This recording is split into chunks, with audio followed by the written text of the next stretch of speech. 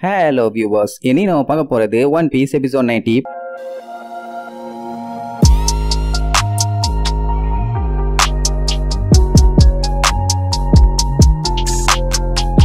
open பண்ணா அந்த ஹிர்லுக்க காட்டுறாங்க. அவன் என்ன சொல்லியிருந்தான்? எப்படியாச்சும் செரி பிளாசம் உருவாக்குவேன்னு சொன்னால அதை மட்டும் பண்ணிட்டான்னா இந்த மொத்த கண்ட்ரியுமே ஒரு டாக்டரா இருந்து காப்பாத்திடலான்னு ஒரு நம்பிக்கை. அந்த கிறுக்கு பையகிட்ட குறையா எவ்வளவோ சொன்னான். அதாவது இது வின்டர் கண்ட்ரி இங்க செரி பிளாசம்லாம் முளைக்காதுன்னு. ஆனா அவனுக்கு அந்த நம்பிக்கை சுத்தமா போல கண்டிப்பா முளைக்க வச்சே தீருவேன். இந்த மாட்டு மக்களை வச்சு நாட்டு மக்களை நான் காப்பாத்தியே தீருவேன்னு. ஒத்த கால நின்னு சொன்னதெல்லாம் நம்ம சாப்பர் யோசிச்சு பார்த்துட்டு இருப்பான். அவன் அந்த ஸ்கல்லு வச்ச பிளாக உருவாக்குனதே எல்லா டிசீஸையுமே ஒழிக்கணும்னு. அவனை பொறுத்த வரைக்கும் அந்த சிம்பல் தான். எந்த ஒரு விஷயமுமே இம்பாசிபிள் இல்ல அப்படிங்கிறதுக்கு ஒரு சின்ன ஒரு நம்பிக்கை. சோ பைரட் மாதிரி நானும் சண்டை போடுவேன். ஒரு நாள் இல்ல ஒரு நாள். கண்டிப்பா ஜெயிப்பேன். நீயும் ஒரு நாள் கடல்ல போய் எல்லாத்தையும் எக்ஸ்ப்ளோர் பண்ணு. அப்பதான் உனக்கே தெரியும். உன் பிரச்சனை எவ்வளவு சின்னதுன்னு. சோ முயற்சி பண்ணி பாருன்னு சொல்லியிருப்பான். அது எல்லாத்தையுமே யோசிச்சுட்டு இருக்கும்போது லூஃபி டப்பு நாங்க வந்து நான் உன்னை கண்டுபிடிச்சிட்டேன்மா ஐயோ மறுபடியும் பயந்தடிச்சு அவன் ஓட ஆரம்பான் டே மான்ஸ்டர் நில்றா நில்றான்னு லூஃபி விடாம வெட்டுவான் இங்க பாவன் டேல்டனால சுத்தமா முடியல. அங்கேயே முடியாம மண்டி போடுவானா? எல்லாம் என்னாச்சு ஏதாச்சுன்னு பதறி அடிச்சு வந்து பாப்பாங்க ஒன்னு பஞ்சாயத்துல கொஞ்சம் ரெஸ்ட் எடுத்தேன்னா சரியாயிரும். ஃப்ரீயா விடுங்க என்ன உடனே. அங்க டாக்டர் குரேஹா வருவாளா? அவளை பார்த்த உடனே எல்லாத்துக்கும் அள்ளு விடும். ஆனா அவ கேஷுவலா வந்து நின்னு என்ன பசங்களா? எல்லாம் சந்தோஷமா இருக்கீங்களா? அடிபட்டு இருக்கவனை என்னோட மெடிக்கல் வார்டுக்கு தூக்கிட்டு வாங்க. நான் அவனுக்கு ட்ரீட்மெண்ட் கொடுக்கணும்பா. ஜோரோ அவளை பார்த்த உடனே செமையா ஷாக் ஆவான். ஏன்னா நம்மால காட்டுக்குள்ள வந்து மாட்டினப்போம். அவளை தானே கொண்டு போய் டிராப் பண்ண சொன்னா? ஆனா கிளவின்னு சொன்ன ஒரே காரணத்துக்காண்டி திருக விட்டுட்டா. இப்பவும் நம்ம பையன் கிளவின்னு சொல்லி எல்லாம் மூஞ்சோட வாங்கிட்டு அப்படியே பேனு கிடப்பான். வேற யாருக்காச்சும் அடிபட்டு இருக்கான்னு அங்க கேட்டுட்டு இருப்பான். அப்படியே கட் பண்ணா இங்க நமியும் செஞ்சியும் ஒரு ஓரமா உட்காந்துட்டு இருப்பாங்களா? சஞ்சி என்ன சொல்லுவான்? இப்ப நமிக்கு உடம்பு சரியில்லைல்ல. அதை சரி பண்ணிட்டு தான் அடுத்த வேலை பார்க்கணும். அதான் உனக்கு நல்லதுங்கிற மாதிரி சொல்லுவான். ஆனா அவளுக்கு என்ன கவலைன்னா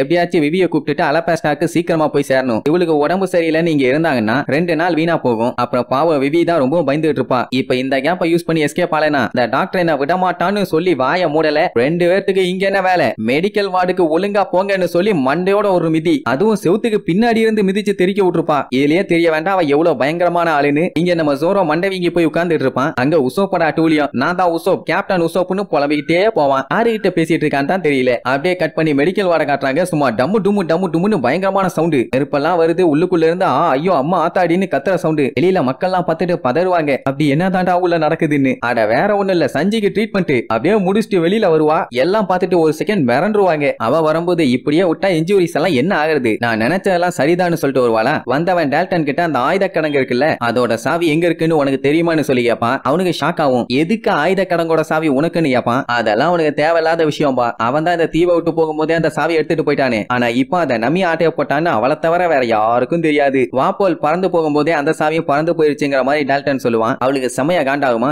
அந்த டைம் நம்ம நம்பி எங்க குரூல எல்லாத்துக்குமே ட்ரீட்மெண்ட் பாத்தீங்கல்ல இது ஃப்ரீ தானே? நாங்க எல்லாருமே டிஸ்சார்ஜ் ஆகிக்கிட்டுமான்னு சொல்லி கேப்பா. உடனே அவ அதுக்கெல்லாம் வாய்ப்பே இல்ல. என்னோட டாக்டர் ஃபீஸா உங்களோட கார்கோவையும் உங்க ஷிப்ல இருக்க பணம் எல்லாத்தையுமே நான் எடுத்துக்க போறேன். நீயும் இங்க ரெண்டு நாளைக்கு ரெஸ்ட் எடுத்தே தீரணுங்கிற மாதிரி சொல்லுவாளா? விவி அதை விட்டுட்டு அவங்க சொல்றதா ரைட்டு அவங்க ட்ரீட்மெண்ட் பாக்குற வரைக்கும் ஒழுங்கா இங்க இருந்து ரெஸ்ட் எடும்பா உடனே நம்பி எனக்கெல்லாம் எந்த பஞ்சாயத்தும் இல்ல. நான் இனிமேட்டெல்லாம் சாக மாட்டேன். ஒன்னும் கவலைப்படாதுன்னு சொல்லிட்டு அந்த ஆயுத கடங்கோட கீய கையில வச்சு சுத்திட்டு இதுதான் அந்த ரூமோட சாவின்னு சொல்லுவா. எல்லாம் வாய பொழந்துருவாங்க எப்படி இவகிட்ட அந்த சாவி வந்துச்சுன்னு? இது உண்மையான சாவியா? எப்படி உனக்கு கிடைச்சுன்னு கேட்டா நான் திருடிட்டேன்பா. உடனே அந்த கிளவி ரொம்ப ஷாக் ஆகி என்கிட்டயே உன் டகால்ட்டி வேலையெல்லாம் காட்டுறியா? சொல்ல போனா நீ பயங்கரமான பொண்ணுதான்பா. சரி ரைட்டு அந்த சாவியை மட்டும் கொடு. நீ வேற எந்த ஃபீயும் எனக்கு கொடுக்க வேண்டாம்னு சொல்லி அந்த சாவியை புடுங்கிடுவா ஆனா என்ன? ஃபீஸுக்கு மட்டும் தான் புடுங்கிருக்காளாமா மத்தபடி டாக்டரா அவ என்ன சொல்றாளோ அதை அப்படியே கேட்கணுங்கிற மாதிரி சொல்லுவாளா? அப்படின்னா ஒழுங்கா அந்த சாவியை கொடுத்துருன்னா அதெல்லாம் முடியாது. நான் சொல்றத ஒழுங்கா கேளு. நான் இப்ப இந்த ரூமை விட்டு போக போறேன். ஏன்னா எனக்கு ஏகப்பட்ட வேலை இருக்கு. தேவையில்லாம என்ன சீண்டி விடாத. இன்னொருத்த முதுகு வலியில இருந்தால அவனுக்கு ட்ரீட்மெண்ட் கொடுத்து எல்லாத்தையுமே சரி பண்ணியாச்சு. அவனுக்கு எந்த பஞ்சாயத்தும் இல்ல. ஆனா நீ மட்டும் இங்க இருந்து எஸ்கேப் ஆக ட்ரை பண்ண கண்டன் துண்டமா வெட்டி களைச்சு போட்டுருவேன். என் கோட் அங்க மூலையில இருக்கு. எடுத்துக்கோன்னு சொல்லிட்டு மத்தவங்க எல்லாம் வாங்கடா. வெயிட் தூக்க வேண்டியிருக்குன்னு நான் பாட்டுக்கு போவா. உடனே நமி அவ ட்ரெஸ் எடுத்து போட்டுக்கிட்டு சஞ்சயை கூப்பிட்டுட்டு இந்த சான்ஸை யூஸ் பண்ணி எஸ்கேப் ஆக சொல்றான் அவ்வளவுதான் என்ன உடனே விவிய முழிப்பா. எனக்கும் அவங்க சொன்னது அப்படித்தாப்பா இருந்துச்சுன்னு. அதே நேரம் இங்க சாப்பரை காட்டுறாங்க. ஐயோ ஓடி ஓடி நாக்கே தள்ளி போச்சு. நைட்டும் ஆயிருச்சு. ஆனாலும் அவன் விடுற மாதிரி தெரியல. பட் எந்த ஒரு வாய்ஸுமே அவனுக்கு சுத்தி முத்தி கேட்கல அப்படின்னா அவங்க எல்லாருமே போயிட்டாங்க. நம்ம இந்த இடத்துல இருக்கதா பெஸ்ட்ங்கிற மாதிரி யோசிச்சுட்டு இருப்பான். அப்போ மேல மூணு அலையாக்கா இருக்குமா? அது கூடவே அந்த கொடியும் பாத்துட்டு இருப்பான். ஏ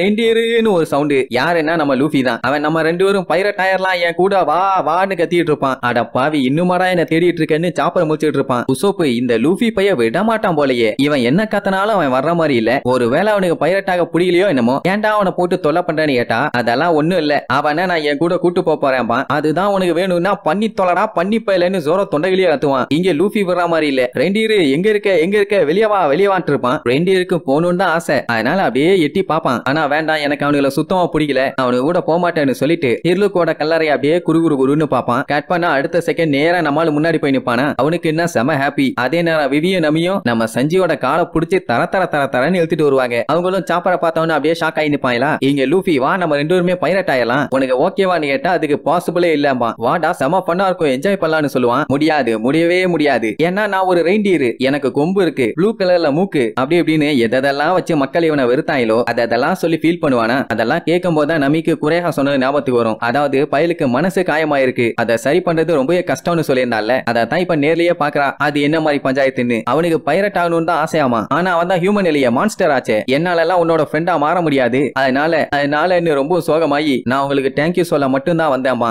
என்ன இவன் அவன் கூட ஜாயின் பண்ணிக்க சொல்லி கேட்டாங்கல்ல? அந்த ஒரு நல்ல மனசுக்காண்டி தேங்க்யூ சொல்றானாமா? லூஃபி நவீன் எல்லாத்துக்குமே சோகமாயிரும். அதனால நான் இங்கேயே இருக்கிறேன். உங்களுக்கு என்னைக்காச்சும் தோணுச்சுன்னா மறுபடியும் நீ பார்க்க வாங்கன்னு சொல்லி வாய் எடுப்பான். ஆனா லூஃபி வாய மூடுறா. வாடா போகலான்னு தொண்டையிலேயே கத்துவான். உடனே அவனுக்கு ஆனந்த கண்ணீர் வந்து தேம்பி தேம்பி அழ ஆரம்பிச்சிருவான். எல்லாத்துக்குமே செம ஹாப்பி உடனே ஜோரோ ஏண்டா ஒருத்தனை வந்து ஜாயின் பண்ணிக்கன்னு சொல்லும்போது வாய மூடுறான்னா சொல்லுவேன். முட்டா பாயலாம்பா இங்க சாப்பருக்கு சந்தோஷம் தாங்க முடியாம ஆனந்த கண்ணீர்ல காட்டுத்தனமா கத்தும். அது கத்துறது அந்த மொத்த மவுண்டனுக்கும் வேற லெவல்ல கேக்குறதோட உசோப்பு நமிய விசாரிப்பான். இந்த மாதிரி நீ நிஜமாவே நல்லா தான் இருக்கியா? எந்த பஞ்சாயத்து இல்லையேன்னு. அவ அதெல்லாம் ஒரு பஞ்சாயத்து இல்ல தட்டி தூக்கிடலாம்பா. அப்ப லூஃபி என்ன சொல்லுவான்? நம்ம போய் டாக்டர் டேல்டன் மத்த எல்லாத்துக்குமே தேங்க்யூ சொல்லிட்டு கிளம்பிடலாம்பா ஏன்னா அவங்க தானே இவங்களுக்கு இவ்வளவு ஹெல்ப் பண்ணது. டாப்பரையும் போய் பார்த்து சொல்லிட்டு வரட்டுங்கிற மாதிரி சொல்லுவானா? அது எப்படி அவனால உடனே வர முடியும்? ஆறு வருஷமா அவன் கூட கூடவே இருந்திருக்கான். கண்டிப்பா அழுது புலம்பி ஏகப்பட்ட ஃபீலிங்ஸ கொட்டு கொட்டுன்னு கொட்டுவாங்கல்ல. அண்ட் அது மட்டும் இல்லாம அந்த டாக்டர் பாக்குறதுக்கு தான் இவங்க முன்னாடி ரஃப் அண்ட் டஃபா இருக்கா. ஆனா ரொம்ப ரொம்ப கைண்டான ஆளும்பா. அப்படின்னு அவகிட்ட சொல்லாம போணுமான்னு உசோப் கேட்பான் ஆமா சாப்பர் மட்டும் பார்த்து பேசிட்டு வரட்டும். நம்ம எல்லாம் போக வேண்டாம். அவன் வந்த உடனே இந்த மவுண்டனை விட்டு நம்ம கிளம்பிடலாம்பா. ஏன்னா இவங்க சீக்கிரமா அலபாஸ்டாக்கு போய் சேர்ந்தே ஆகணும். இதை சொன்ன உடனே விவிக்கும் செம ஹாப்பி இப்ப என்னன்னா இவங்க கூட ஒரு டாக்டர் வந்து அது நல்ல விஷயம் தானே?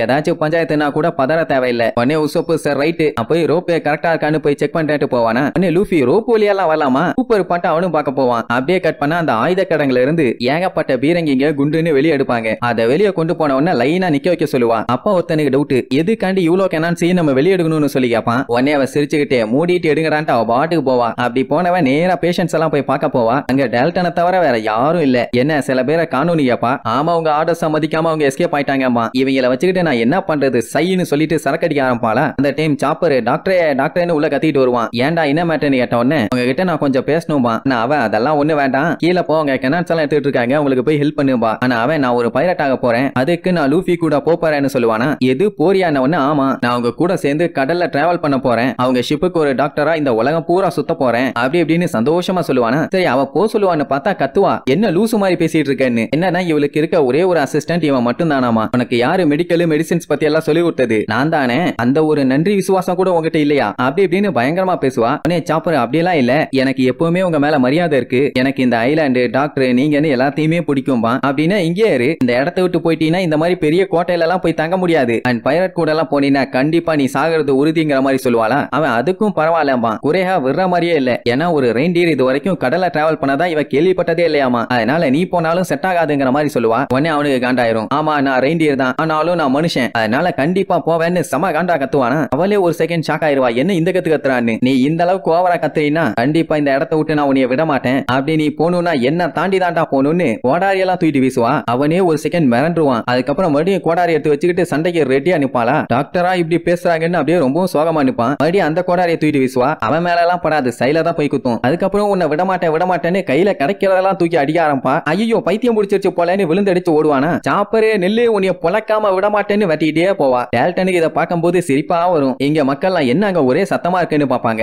ஒரே ஏதாச்சும் பண்ணிட்டு இருப்பா? நம்ம சீக்கிரமா அந்த பீரங்கியை கொண்டு போய் வெளியே நிப்பாட்டுவோங்கிற மாதிரி பேசிட்டு இருப்பானுங்க. அப்ப அவங்க சாப்பரை வட்டிட்டே வருவாளா? அவன் வில்லேஜ் மக்களுக்கு நடுவுல பூந்து பூந்து ஓடுவான். குறையாதான் ஆயுதத்தெல்லாம் வச்சு அட்டாக் பண்றாளே. எல்லாம் பதறி அடிச்சு பயந்தடிச்சு விழுந்தடிச்சு ஓடுவாங்க. அப்ப வெளியில இருக்க ஆளுகளுக்கும் உள்ளுக்குள்ள ஒரே சத்தமா கேக்குமா ஏதோ என்ஜாய் பண்ணிட்டு இருக்காங்க போல. கொஞ்சம் பொறுமையா என்ஜாய் பண்ண என்னங்கிற மாதிரி பேசிட்டு இருப்பாங்க. இங்க சாப்பர் முடிவு பண்ணிட்டான். என்ன மன்னிச்சிருங்க டாக்டர் நான் இந்த உலகத்தை பார்த்தே தீரணும்னு சாப்பர் டாக்டர் ஒரு வண்டியில வச்சு கூட்டு போவான்ல. அந்த வண்டியை முதுகுல கட்டிட்டு அவன் பாட்டுக்கு ஓட ஆரம்பிச்சிருவான். அவ விடாம வெட்டிட்டு வருவான். உன்ன மாதிரி ஒரு ஆளு கடலுக்கு போய் என்ன பண்ண போற? ஏதாவது ஃபேண்டசி உலகத்துல வாழ்ந்துட்டு இருக்கியான்னு வெட்டிட்டே வருவா. ஆனா அவன் நான் ஒண்ணு ஃபேண்டசி உலகத்துல எல்லாம் வாழல. எல்லாத்தையுமே கரெக்டா தான் பண்றேன். டாக்டரோட ரிசர்ச் ஆக்சுவலா கம்ப்ளீட் ஆயிடுச்சுன்னு சொல்லி கத்துவான். அப்படியே அவன் கத்திட்டு வரதான் நம்மளால எல்லாம் பாத்துருவாங்க ஆனா பின்னாடி ஏதோ ஒரு சவுண்ட் கேக்குமா? என்னன்னு எட்டி பாப்பாங்க பார்த்தா குரேஹா கையில ஆயுதத்தோட பயங்கரமா வெட்டிட்டு வருவா. அதே டைம் இங்க உசோப்பு ரோப் ரெடியா இருக்கு. வாங்க போலாமா? உடனே சாப்பர் வாங்க எல்லாம் கிளம்பலாம். சீக்கிரமா மவுண்டனை விட்டு கீழே போலான்னு கத்திட்டே வருவான். அந்த டைம் குரேஹாவை கையில சுத்திட்டு வந்த இரும்பு கொண்ட தூக்கிட்டு வீசுவா. எல்லாம் ஒரு செகண்ட் தெரு திருவாங்க என்னடா இவ திடீர்னு பிசாசா மாறிட்டாளேன்னு. அப்படியே கட் பண்ணா சாப்பர் அந்த வண்டியில நம்ம ஆளு எல்லாத்தையுமே ஏத்திட்டு அந்த கைத்துல அழகா ஓடி வருவான். அப்படி வரும்போதெல்லாம் குறைகா கூட இருந்த எல்லா விஷயத்தையும் அப்படியே யோசிச்சு பார்த்துக்கிட்டே வருவான். அதெல்லாம் ஒரு அருமையான நாட்கள். அவனுக்கு ரொம்பவும் கஷ்டமா இருக்கு. அதே நேரம் குறைகாவை காட்டுறாங்க. அவளும் சாப்பரை நினைச்சு ரொம்ப ஃபீல் பண்ணிட்டு இருப்பான் இங்க கீழே இருக்க வில்லேஜ் மக்களும் வாயை பறந்துட்டு பார்ப்பாங்க. ஏன்னா மேல இருந்து வந்துட்டு இருக்கிறது குறைகாவோட ரெண்டியர்னு அவங்களுக்கு நல்லாவே தெரியும். ஆனா மேல என்ன நினைச்சுன்னு ஒண்ணும் தெரியல. ஏன்னா வாப்போல டேல்டனு பயட்ஸுங்கன்னு எல்லாருமே மேலதான் போனாங்க. அதுக்கப்புறம் என்னாச்சு ஏதாச்சுன்னு ஒன்னும் தெரியல. இங்க உங்க ஒரு வழியா கீழே வந்தாச்சு. அப்படியே சல்லுன்னு வந்துட்டு இருப்பாங்க. லூஃபிக்கு செம ஹாப்பியா இருக்கும். ஆனா மத்தவங்க தான் பதறிட்டு இருப்பாங்க. ஏன்னா அந்த அளவுக்கு வேகமா போயிட்டு இருக்காங்க. அப்படியே கட் பண்ணி டேல்டனை காட்டுறாங்க. அவன் குரேகாவை மீட் பண்ணி உனக்கு இந்த மாதிரி ஆனது கஷ்டமா இருக்கான்னு கேட்பான் அது எனக்கு ஜஸ்ட் ஒரு பெட்டு தான். அதை நான் கேர் பண்ணி பாத்துக்கிட்டேன் ஆனா அதை யாரோ ஒருத்தர் கூட்டு போயிட்டாங்க. அவ்வளவுதான். அத்தபடி எல்லாம் ஒண்ணும் இல்ல. எனக்கு அதை நினைச்செல்லாம் கவலையும் இல்ல. அழுகவும் மாட்டேன்னு சொல்லுவா. ஆனா கண்ணீர் தார தாரையா கொட்டும். கல்லுக்குள் ஈரம் கிளவி. டேல்டனால அதை புரிஞ்சுக்க முடியுது. அப்படியே இழுச்சுக்கிட்டே நின்னுட்டு இருப்பான். அவ நெஞ்சிலேயே வந்து ஒரு போட போட்டு வா வா நிறைய வேலை இருக்குன்ட்டு அவனை கூட்டு போவா. அப்ப சாப்பருக்கு இருளுக்கு கஷ்டப்பட்டு முப்பது வருஷமா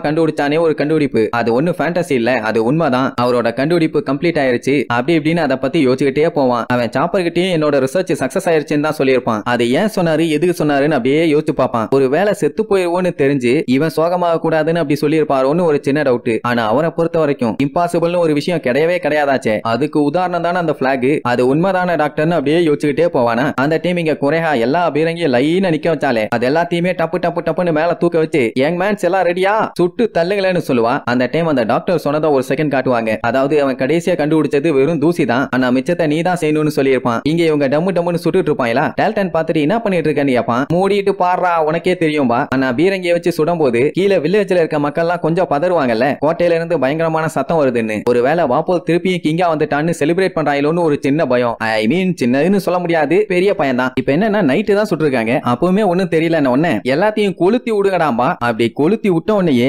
திடீர்னு ஒரு வெளிச்சம் வரும். வில்லேஜ் மக்கள்லாம் வாய பொழந்துருவாங்க. என்னடா இது அதிசயம்னு. அவங்க மட்டும் இல்ல அம்மாளுகளும் இது எல்லாத்தையும் பார்த்துட்டு தான் இருப்பாங்க. வாவ் சூப்பர் எமேசிங் ரொம்ப அழகா இருக்குன்னு. எல்லாத்துக்குமே அதை பார்க்கும்போது அழகா தான் இருக்கு. ஆனா சாப்பருக்கு பார்க்கும்போது தான் நம்ம டாக்டர் முப்பது வருஷமா கஷ்டப்பட்டு கண்டுபிடிச்சானே ஒரு கண்டுபிடிப்பு. அதை சாதிச்ச மாதிரி இருக்கு. டேல்டன் எல்லாம் பார்த்துட்டு என்ன இது? பார்க்க ஃபேண்டசி மாதிரி இருக்கும்பா. அந்த முட்டா பையன் இதைத்தான் யோசிச்சிருக்காம்பா. அதான் ஒரு நாள் இல்ல ஒரு நாள். செரி பிளாசம் உருவாக்கி இந்த கண்ட்ரில இருக்க மக்கள் எல்லாத்தையும் நான் காப்பாத்துவேன்னு சொன்னால அதை இப்ப தலைவர் சாதிச்சிட்டான். ஆக்சுவலா ஹிர்லுக்கு கண்டுபிடிச்ச கண்டுபிடிப்ப நம்ம குறைஹா குடுக்கும் கொடுக்கும்போது எல்லாத்தையுமே சொல்லி தான் கொடுத்திருப்பான் அதை நம்மளுக்கு காமிச்சிருக்க மாட்டாங்க. என்னன்னா அவன் கண்டுபிடிச்சது சாதாரண டஸ்ட் இல்ல. அதை யூஸ் பண்ணி ஒயிட் ஸ்னோ ஏர் கூட அட்டாச் பண்ணிட்டாலே போதும். எல்லா இடமும் பார்க்க பிங்க் ஸ்னோ ஃபால் மாதிரியே இருக்கும்னு சொல்லியிருப்பானா? இப்ப அதை தான் பண்ணியிருக்கான் அந்த டஸ்ட் எல்லாத்தையுமே கெனான்குள்ள வச்சு அடிச்சு திரிய விட்டுருக்கா. அது மேல இருந்து விழுற ஸ்னோல போய் பட்டவொன்னு அப்படியே பிங்க் கலர்ல வந்து விழும்ல. அதை தூரத்துல இருந்து பார்த்தா நம்ம சாப்பருக்கு ஆனந்த கண்ணீர் முட்டிட்டு வரும். என்ன டாக்டர் ஆசைப்பட்டது ஒரு வழியா நிறைவேறிடுச்சு இல்ல? அப்படியே கத்தி கத்தி கதறி கதறி அழுதுட்டு இருப்பான். அதுக்கப்புறம் தான் இவங்க என்ன பாக்குறாங்கன்னு அப்படியே காட்டுறாங்க. லாஸ்டான இடம் மொத்தமுமே பெரிய செரி பிளாசம் ட்ரீ மாதிரி இருக்கும். அதுவும் அந்த மவுண்டனோட வச்சு பார்க்கும்போது பக்காவா இருக்கு. ஸோ டாக்டரோட ஆசை நிறைவேறிடுச்சு அவர் சாதிச்சிட்டாருன்னு அவனால அந்த சந்தோஷத்தை கம்ப்ளீட்டா சொல்ல முடியாம தொண்டைகளையே கத்துக்கத்துன்னு கத்தி அழுது தள்ளிட்டு இருப்பான். எல்லாருமே ஒரு செகண்ட் அசந்து போய் தான் பாப்பாங்க